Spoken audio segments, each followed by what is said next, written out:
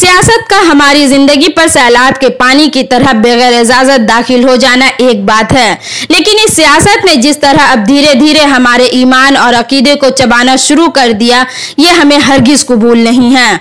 अभी चंद रोज पहले 21 जुलाई को पश्चिम बंगाल के शहर कोलकाता के धर्मतल्ला विक्टोरिया हाउस के करीब ऊँचा और बड़ा मंच सजाकर शहीद दिवस मनाया गया, जिसमें इंसानी सैलाब उमड़ पड़ा।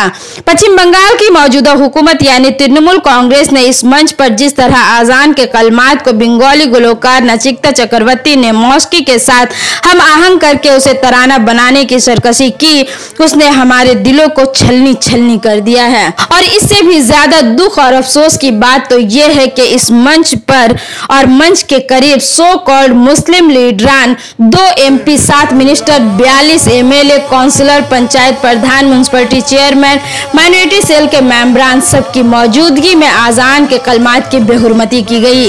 मगर किसी ने भी आवाज़ बुलंद करने की ज़रूरत नहीं की। क्योंकि इन्हें डर है कि कहीं दीदी यानी मुख्यमंत्री ममता बनर्जी कहीं नाराज़ ना हो जाएँ और इनके सत्ते की कुर्सी में आग ना लग जाए। इन्हें खुदा का खौफ से ज़्यादा दीदी का डर सता रहा है।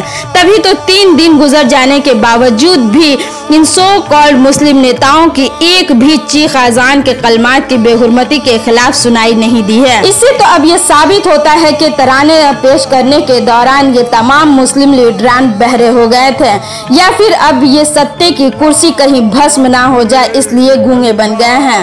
हैरत तो इस बात पर भी है कि इस मंच पर टोपी दाढ़ी वाले चंद ऐसे भी मुस्लिम लीडरान मौजूद थे जो बड़े बड़े मुस्लिम अदारे से जुड़े हुए हैं। मगर अब तक इन लोगों का एक भी मजम्मती बयान नहीं आया है। इस अफसोसनाक वाक्य पर अपना सर न पीटूं तो और क्या करूँ?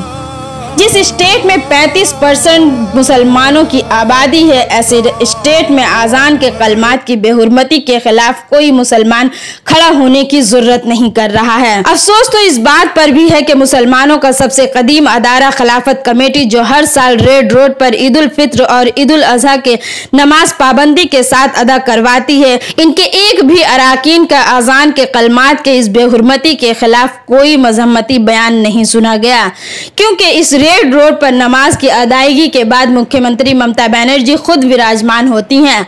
अगर आवाज़ बुलंद की गई तो दीदी के साथ खड़े होकर फ़ोटो खिंचवाने से कहीं गायब ना हो जाए।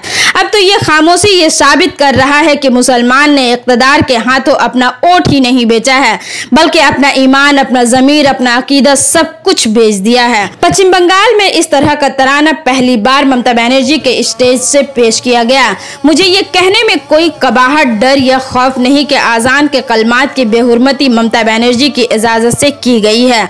और इसकी ज़िम्मेदारी न सिर्फ़ ममता बनर्जी को लेनी होगी, बल्कि इनके पार्टी के तमाम मुस्लिम लीडरों को भी अवामी तौर पर अपनी नाअहली की माफ़ी मांगनी चाहिए। सिर्फ़ यही नहीं, बंगाल के मुसलमानों को दो टोक लफ्ज़ों में ममता बनर्जी से इस सवाल का जवाब लेना चाहिए कि आखिर आपने क्या समझकर आज़ान के कलमे को म्यूज़िक के साथ पेश करने की इजाज़त दी है? बंगाल के मुसलमानों को ये बात याद रखनी चाहिए कि हमारे सामने इस्लाम और इसकी तारीख हक गोई का जो नमूना पेश करती है, वो यही है कि हमें किसी भी जाबिर हुक्मरा के सामने अपने हक गोई के साथ दीवार की तरह खड़े हो जाना है।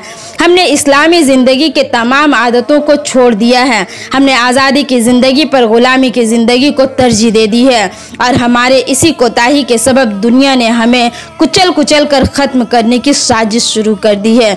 इसके बावजूद भी शर्म हमको मगर नहीं आती। अगर ये वीडियो पसंद आए तो उसे ज़्यादा से ज़्यादा शेयर करें लाइक करें फॉलो करें और कमेंट्स करना बिल्कुल भी ना भूलें, क्योंकि आपका एक कमेंट्स मुझे हौसला देगा।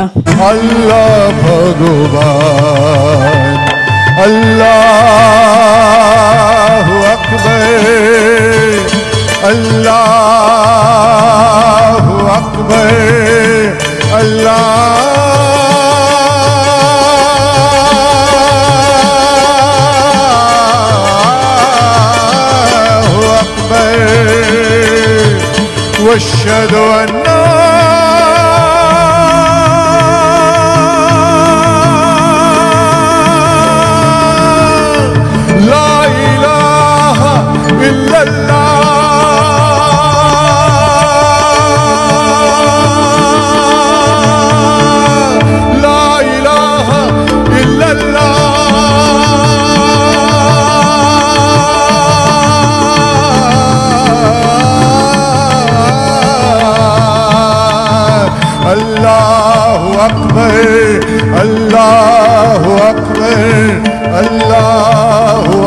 अकबर या देवी सर्वभूतेषु मातृरूपेण संस्थिता।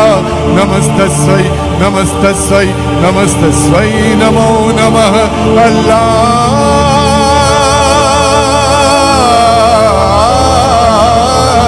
अकबर या देवी सर्वभूतेषु शक्तिरूपेण संस्थिता नमस्तस्वै नमस्तस्वै नमस्तस्वै नमो नमः वश्यदो